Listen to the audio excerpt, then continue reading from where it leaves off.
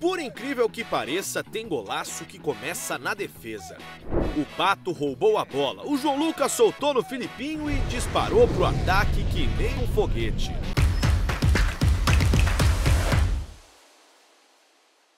Depois que ele passou que nem um raio, o Filipinho achou passe na medida, nas costas da marcação do Brasília. O João Lucas chegou nela ao mesmo tempo que o goleirão.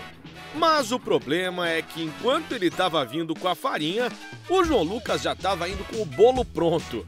O camisa 11 do Pato deu uma cavadinha nojenta, fechou o bolo com a cobertura e ficou com o gol Sala Pro da semana 14.